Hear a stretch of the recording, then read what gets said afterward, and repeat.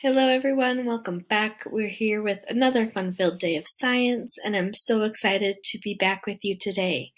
Before winter break, we began learning about bones. We started a brand new unit learning about how our bodies come together, how they're built, and some purposes that our bones serve. They do many, many important things, and we began talking about those before winter break.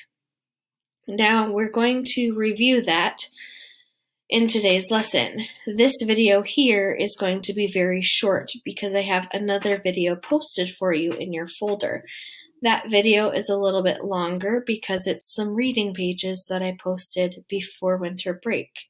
Now I want you to listen to them again because I want you to jog your memory and listen to the information again. Now I know it's the same information, but when you hear something a second time, you have the ability to pick up on information you didn't catch the first time. Okay, so I've posted those reading pages in your page for today. Listen to them again and share some thoughts and some information you pick up from those reading pages that you are learning. Okay, there were only a few of you that did the homework from the Monday and Tuesday before winter break. That made me very, very sad. Share that information again or share something new if you already posted. I've set up a discussion post. Try to get your thoughts into one individual post for just you. So if I, Miss Jacobson, am posting, I'm going to put all of my thoughts into one post.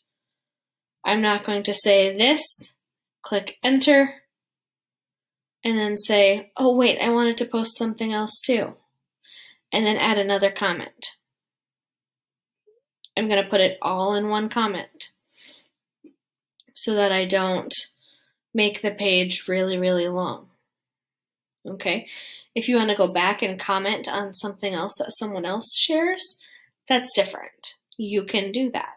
Feel free to engage in conversation with your classmates. This is one way we're able to do that. Okay?